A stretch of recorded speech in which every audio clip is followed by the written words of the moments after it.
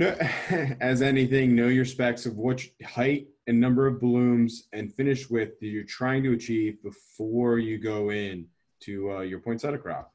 Um, you're going to have different customers with different specs. Uh, we know that there's a customer out there that is notorious for having a ruler uh, anytime they receive a poinsettia cart shipment. And doesn't matter how nice the poinsettias are, or how full they are, or how full in color they are, if they don't hit that height spec, they're going to reject it. So know what's your customer, what their specs are, and work towards that goal. And, and it's, it's so important because I've been growing a lot of poinsettias in my career, and I've dealt with both the guys that will measure your plant height and and and kick you for that. And the other one is bract count. So you know that if if you're growing a floral spec and you're going to get good money for that, they expect on a six and six bracts on top, not six bracts on the plant, six bracts on top. So it's important to understand what your targets are and that spec, what size pot, how many stems in the pot, what you're doing that influences your scheduling. And again, we could go for, for, for an hour on scheduling alone. But I think the point of this is just to make sure you know what it is you're trying to achieve. And it's amazing how often people don't really know that. How do you make your specs? All right. Have a conversation with your customer, you know, and it it's not, hey, you know, I, I want big and nice. That's that's not what we're talking about. We we work in uh, uh, uh a little bit more of the world of reality uh, and defined specs. All right. So, uh, how to get the number of blooms, and that goes back to the pinch, which we talked about earlier, and know your varieties. There are uh, physical limitations to certain varieties on what height spec they're able to achieve.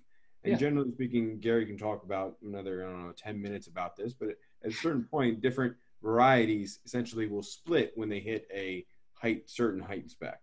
And those varieties are what we would avoid for, say, a larger 10 inch or 12 inch pot. Not every not every variety, even though it's a slower grower and a faster finisher to color, is acceptable for those larger pot sizes.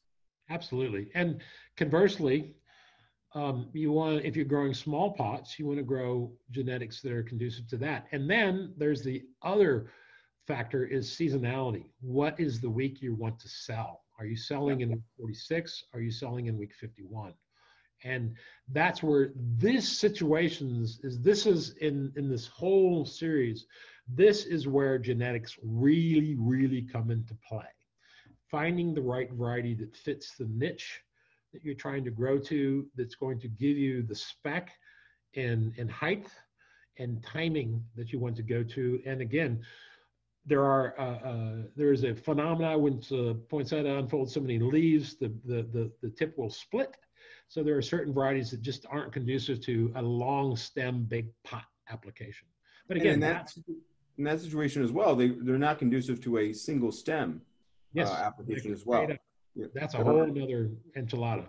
Yeah, there, there's many different specs out there. Know whether you're supposed to be pinching these or you want the, your customer accepts unpinched or you be making these single stems um, you know this is the type this is the type of conversation that you need to have with your customer that will be purchasing these um, generally speaking there's not a lot of poinsettia production on random spec at the moment uh, no absolutely not and and one of the new one of the new things that's coming out there right now and we've seen this thing explode over the last couple of years is mini poinsettias and it's a unpinched mini poinsettia so if you any of you guys are interested or dabbling or want to work with uh, minis, please reach out to us.